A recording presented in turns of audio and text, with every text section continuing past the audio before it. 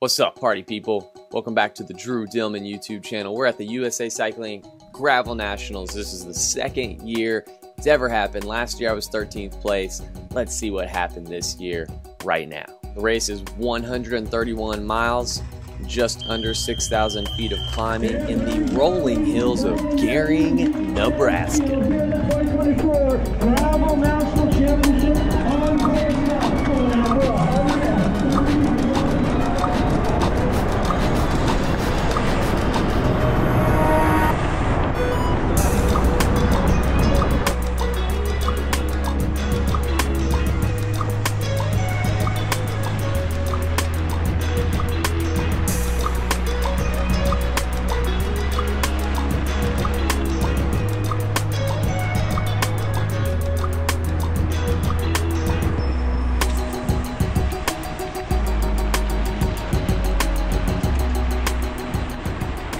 Right, me and Chase Wark off with attack number one of the day.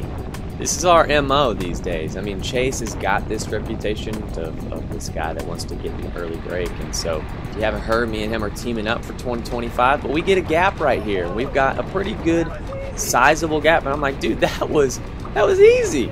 Uh, in, in the other races that we were doing, like Gravel Worlds, we tried really hard to get in the early break, and it just wouldn't happen. And eventually, the early break went an hour in. But in this race, all it took was one attack and we had a gap. But just as quick as that gap had gone out, it came back.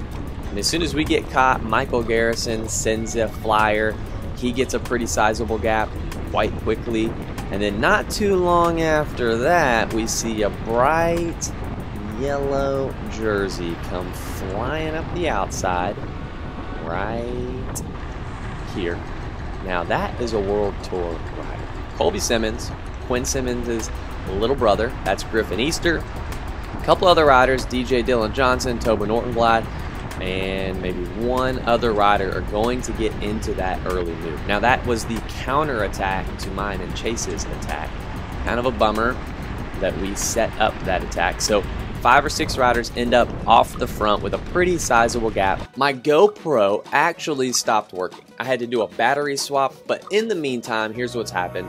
I'm looking for a bridge to get up to that to that breakaway of six riders up the road.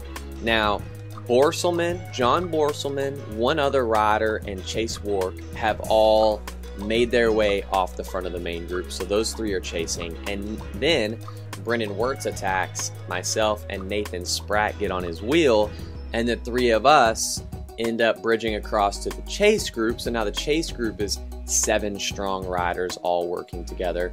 And we're chasing down that front group of six riders off the front. That's 13 riders all together off the front of the main group. And most notably, missing out of those 13 riders, Keegan Swenson, Russell Finsterwald, Daxton Mock, Lance Haidet. All those guys are still back in the main group.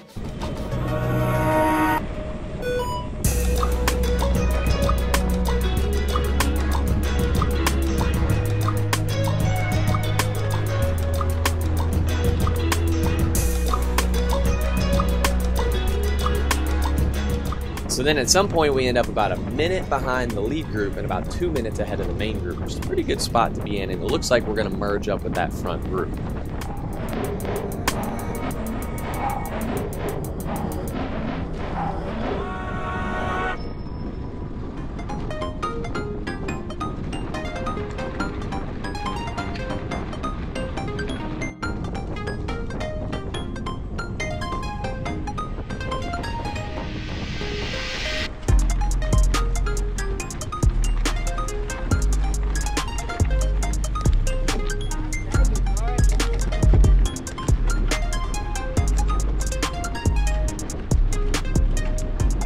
All right, we're about to catch that lead group. They're only like 10, 15 seconds ahead of us. So me and John Borstelmann get in a little bit of a disagreement as to should we catch them or not. Borstelmann says we shouldn't catch them because then Tobin Orton Ortenblad, teammates of Keegan Swenson, will just sit on and the group won't work well together, and that's not good for a breakaway. I argue that we should catch them and keep working hard and just let Tobin sit on because Keegan, the strongest rider and defending champ of this race, is in the group two minutes behind us. And I want as big of a buffer on him as I can so that I can make it further into the race having being in front of him versus with him because if I'm with him, he could attack me at any minute and drop me, which is probably pretty realistic. So we end up going with Borstelmann's strategy after Chase Wark chimes in and says, yes, he agrees that if there's a group of 13 riders, that group might not work so well because the prime number for a good breakaway to stick and stay away all day is somewhere between like 6 and 10 riders. And 13 might be a little too much. And so uh, the group dynamic would slow up and it would all come back together. But it doesn't really matter because just a few minutes later, we end up catching that lead group. And just as we catch that lead group, the main group catches us, and now the whole group is back together.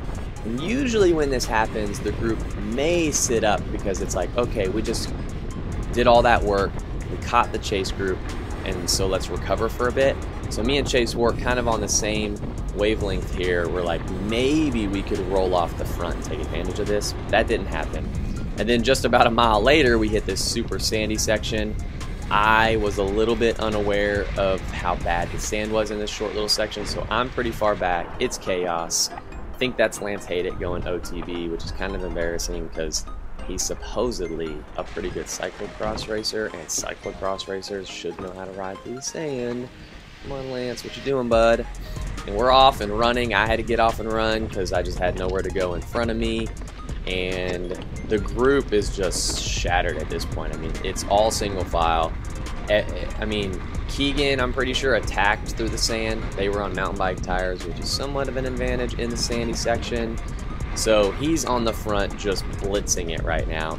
And I basically go from off the front to off the back within a few short minutes. Here I'm riding with Nathan Spratt, Finn Gullickson for just a few minutes, but eventually I can't even hold their wheel and I end up in no man's land completely by myself and basically coming to the conclusion, well, that's the end of my race. So we're 67 miles in here. I've been off the back for 20 miles. Groups have already come rolling by me, and I'm contemplating life. I'm thinking, why am I even at this race? All I can think about are my, my two little girls at home, how much uh, I could be at home playing with them right now, but instead I'm getting dropped from some silly bike, bike race that nobody's going to remember. I'm contemplating retiring. Masters groups and junior groups are catching me. Um, so it's a pretty rough day, but eventually I kind of come around and I'm like, all right, um, you know, I'll, I'll, finish. I'll just roll in, whatever. Uh, I talked to a couple people. The moto rolls up to me and reminds me, hey, you can hop into a group, but you can't work with that group because you don't want to interfere with that race. I'm like, yeah, man, I'm just pedaling. Um, yeah, I, I, was I was pretty done. I'm rolling into the 90 mile aid. I got dropped about 50 miles in, so I had to ride about 40 miles pretty much by myself. Stopped and talked with a few people here and there.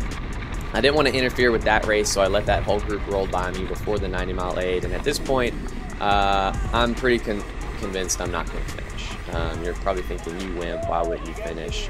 Well, I was thinking to myself, if I was at home on a normal training ride, uh, I wouldn't I wouldn't keep riding. I wouldn't have went out for another 40 miles if I felt this bad in a normal training ride. So I, I ended up thinking, all right, I'm probably going to do more harm than good. So I'm going to pull the plug and just get a ride home. And had I had I finished, it would have taken me another three hours to do that last 40 miles. It wouldn't have been fun. It would have been miserable, and it would have taken me even longer to recover from probably something that I should have already been recovering from anyways. All right, here are the full stats. I ended up riding for about four and a half hours, made it to that 90 mile aid, 248 TSS, but that doesn't really matter. What you want to know is how hard did you go for those first two hours when you were off the front? And here are the stats. It was about a 316 normalized power for two hours, which is pretty high for me. That's nearly 0.9 intensity factor for two hours. 146 TSS, and you're probably thinking, bro, you idiot. You just went out way too hard, and that's why you got dropped and you wouldn't be wrong. But I also think that there may have been some other things at play here. First of all, I think maybe I was a hair overtrained. Gravel Worlds, a 150 mile gravel race that happened two weeks prior to this one, I didn't exactly recover for very long after that race. I kind of did that race, and then as soon as I got home, I went right back to training. And I trained pretty hard for the two weeks between Gravel Worlds and Gravel Nats without a big recovery block in there, with my recovery week being between Gravel Nats and Chequamegon this week right now. So I may have went into Gravel Nats a little overtrained and a little fatigued. Now I also think the altitude might have come into play. And you might be laughing thinking you doofus, it was only at 4,000 feet. Well, when you live at 400 feet, 4,000 feet is somewhat of a difference. And I think that maybe altitude was secretly at play for the bad sensations that I was feeling. Now, I didn't bonk and I didn't have uh, stomach issues. And so those are usually the two main reasons why you don't finish uh, a gravel race. Now, I literally my legs did not feel good. And I and I do think that yes, I went pretty hard for those first 2 hours, but my Garmin readiness score, which I try really hard to ignore on days like this, was at a negative 13 at the start of this race. Now, I don't know why that is, and but that does clue me into like yes, I think I was on an off day, a bad day. Now, the biggest upset about all of this is that Dylan Johnson, my arch nemesis slash good friend who I've been trying to beat for years, also had a really bad day. So if I had just been on a freaking normal day, I might have beat him. But because we both had a bad day on the same day, we I didn't him, which is kind of a bummer. So that's how it goes. I don't feel bad for not finishing because I think that was the right call. I'm already looking forward to the next race. I do want to say thanks for watching. If you liked it, you want to see more like this, go ahead and subscribe to the channel. This one, I want to give a shout out to Flow Formulas. And if you want to save 15% on your next Flow Formulas order, use code RADDADDIZZLE at checkout. Thanks for watching. See you in the next one.